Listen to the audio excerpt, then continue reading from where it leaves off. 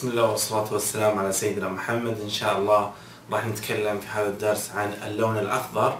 هذه الصورة عرضت بتاريخ 2007 على موقع وكالة ناسا وهي صورة لأشعة الشمس.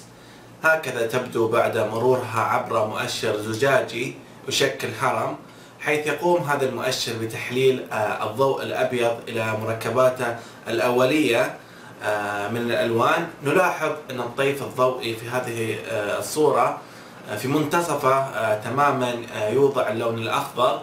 ويقول العلماء أن هذا اللون الأخضر هو أفضل لون بالنسبة للعين البشرية وهو يعطي نوعا من البهجة والراحة والسرور حتى أنهم يفكرون باستخدامه لعلاج الحالات الاكتئاب والنفسية. يقول تبارك وتعالى في القرآن الكريم آه، ويلبسون ثيابا خضر من سندس واستبرق. سورة الكهف آية ثلاثة صراحة ما نقول له سبحان الله والله أعلم.